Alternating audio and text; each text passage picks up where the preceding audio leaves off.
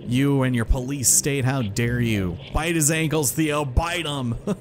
Something that Pixel really loves doing is cozying up right next to your legs and getting all cuddly and nuzzly with your ankles, and then all of a sudden you'll feel like her little jaw wrap around your ankle, and then she'll just bite. And it's just like the most gratuitous action that she's ever done. It's so funny. Uh, anyways, the avoidance of these sentinels is still required, so let's be a little careful if you try to go this way. Obviously, this one is not going to move, which is a shame, so we'll go this way. We'll go down this part. Uh, keep in mind, if you meow, uh, they will still be alerted to your presence. So, yeah, there you go. I figured you were there. So that's why you're going to want to hide in a box. Yeah, that's basically it. So keep in mind that's the thing to do uh, when going through inaccessible stairwells. It's not a fun bit of business, but it's also not the most difficult in the world. So hide in here and hope you don't get me, please. There you go. There you go. All right, let's keep on going over here. Gentle. And let's skip across. There we go. Just keep on going up the stairs. You'll be fine. Okay, so this one also doesn't move. So this is the point where we jump across the signs here. Yeah, there we go. And this one right outside her place is so annoying. Because the second you try to come out of it, he will always be looking at you. It's not fair. All right, so we're back. Clementine, I think they're looking for you. I don't know what I did, but it did not make the cops happy, which means we succeeded. Now, wait. Huh. No sign of Clementine. Wait, there's some kind of coded message. We're gonna have to play detective to figure out what happened. For B12 and the cat, the answer lies in my stuff. Okay. Thank you, you couldn't have just left it there. So, apparently we gotta look for a diffuser, a crystal, a traffic cone with legs, and a lava lamp. Not a floor is lava lamp, no, certainly not. Oh, and we can inspect this. Oh, right. Okay, so sometimes there will be red herrings where you can quote unquote inspect it, but there won't be anything there. Yeah, there's a bunch of those. So let's start with the old air diffuser. This is cute. So, detecting harmless chemicals in a gaseous state. I had read that, like, burning, like, scent diffusers is bad for cats, so Sarah never does it. But uh, there's also a message. I'm with blankety blank block, blink block block. And because we left this lovely drawer out on our prior visit, everything is fine for this little nook here. Look at this. Oh yeah. Chill beats to make biscuits too. Just in case you needed another nap. But with this music here, I mean, wouldn't you want to? So let's get back to work. Got a nice little scritch in there. Still haven't hydrated in a minute for Theo. But over here, we have a crystal. This gem is of medium value and low purity. It seems to have been added artificially. All right, so, ooh, Blazer. So you're with Blazer. Okay, so I'm guessing the other ones probably tell us where. No, perhaps? All right, well, here's the cone head. Something about characters in this game and their cones, man. Yeah, this is what the way the companions see humans. Alright, so. Oh, we have to come to somewhere. Well, where in the world do you think I'm gonna come to in the middle of the kitchen where this is the perfect spot to hide a incredible LED lava lamp? This is kind of cool. its glow is kind of memorizing. Mesmerizing. Nope. yeah, neither did I. So the nightclub, of course, as you could have imagined.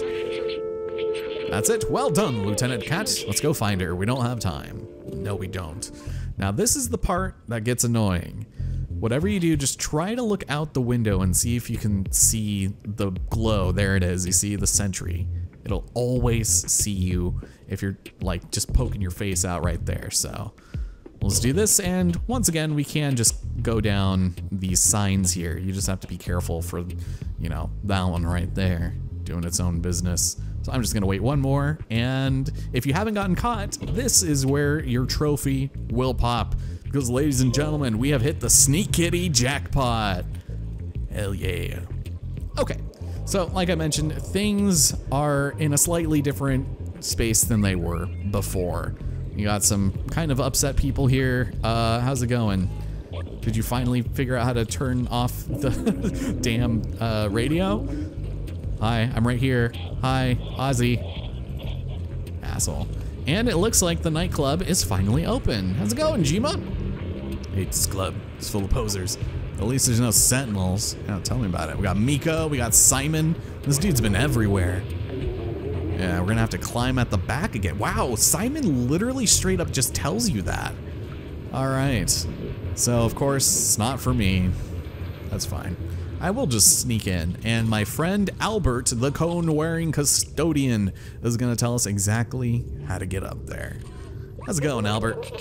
Work hard to clean the streets, only for others to mess it up again. Maybe I should stop sweeping with this broom, you know?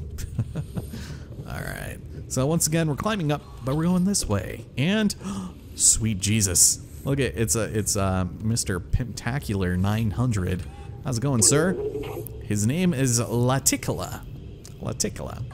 I'm doing great. He's having a grand old time. He's on that sweet, sweet diesel. so if we head over here, uh, we got a couple of bees we can knock off. There we go. And then kind of another one of those pointless doors that you can just scratch at, just in case you haven't done that enough already.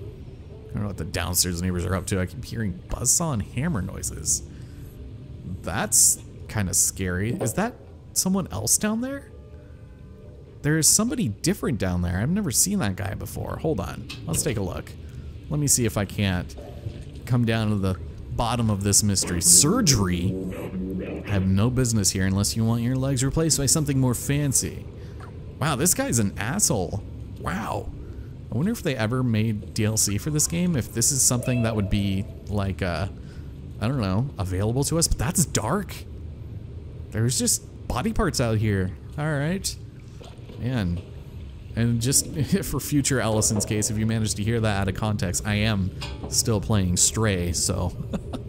Anyways, this is our new friend. His name is Alex. Hey, how's it going? I do want a party. Let's get a drink. I want in. Nice. Welcome to the club, ladies and gentlemen. This place is freaking badass. I love that I just get to like step on this dude's back. This is literally Ori, by the way. but there's a couple of things we can do here. We can maybe speak with some of the patrons or otherwise just really upset them by knocking off their very important drinks. But of most importance is this strange drink. I'm just gonna go ahead and yoink that, and we're gonna take this dumb waiter down. And this is gonna take us to kind of an interesting little room. Kinda neat. Our final memory. Oh, someone setting up a little date night here? What's going on? When I was human, my friends and I would gather and party long into the night, even if we had to suffer the annoying consequences. The next morning, it felt good to find joy despite the unlivable surface. Yeah, this person has never even experienced, I guess, the outside, it seems. Now we're talking about capitalism and the police state created by sentinels. Yeah. Cool. So that is all of the memories recovered here in Midtown, chapter uh, 10. So we're pretty close to the end. And uh, it's going to be something else, my friends. Let me tell you something. Oof. So we're going to come on up. And with our strange drink in hand, there is a very specific NPC we need to speak to. Uh, but first, let's speak to the bartender. I love your bucket hat, man. Access to the VIP balcony is closed. Some private biz is going on up there. It's been reserved by Blazer. Wow. They straight up tell you Blazer is up here with A. Botham Lincoln. Good God. All right, cool. I've never spoken to the bartender before, apparently. You got some dancing bozos here. Oh, it's you. Hey, the Johnny 9 impersonator, or Johnny 5. How's it? Oh, that is pretty cool, man. Did you make it yourself? Yeah, thought so, Viv. Jams the Sentinel scans, and it looks cool. Oh, there you go. That'd be kind of a cool little thing to know, I think. So, there's a man who is randomly holding a lever. I don't know what it's for or why he's doing it, but I tried to go to that stupid VIP room, they kicked me out. Can you believe it? So I stole this lever for kicks. So we'll go ahead and trade him because, you know, I'm going to need that more than he does. There you go. Thank you. Meanwhile, this guy's just like, uh, I'm good. This is interesting. Also, creepy. So something to make note of is there is a place for us to pull a lever right here. And what that'll do is get rid of the dancer.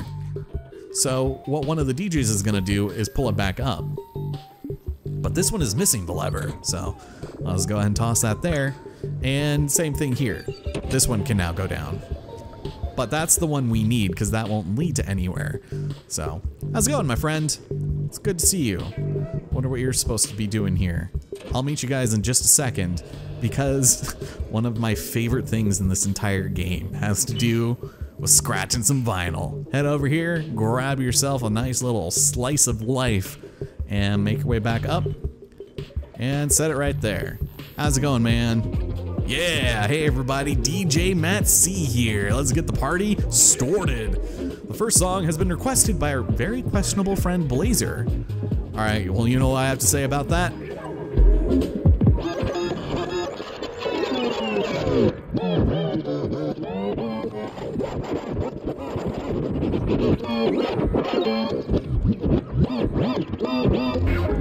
That is all, my friends. all right, so now that the lever is placed and we have put the vinyl in its place, we are gonna go and step on this so that when he puts it up, we will now be raised to the VIP level. There we go. Nice. Now, this is actually a little bit easier than you would think. We have to get clear over there by going atop the lights here. So I'm gonna go and just start pressing buttons, mostly at random, but this is exactly what I did the first time I played this. I just went from left to right, and then with just one more press, we're set. So, perfect. Everything is set in place. Let's make our way over. Ah, I see you over there. Oh, look at this guy. Oh, he's walking away. Yeah, so I guess if you hadn't spoken to the bartender, you wouldn't really know who that was. But it's odd that Blazer would happen to be here too. And I, I guess that's who Clementine was meeting with. So, hey, how's it going? It's Abe Botham Lincoln. Or Raph, I guess. Oh, I don't understand why people complain so much about them. What about this battery? I don't think it'll be interested in what you have to give me. I already have access to everything. Of course you do. All right, well, you know what? I'm gonna get rid of your gross drinks here. There you go. This is the worst diesel I've ever tasted in my life. I don't think there's anything else here. We got some interesting pictures on the table there. Thank you, depth of field. All right, wait. Clementine. Wait. No. We've been double crossed. We've been duped. You're not as clever as you look, little cat. Business is business. Also, how can Clementine not speak just by having like a piece of rope wrapped around her speaker? Well, he values money more than friendship or camaraderie. Blazer, you dick.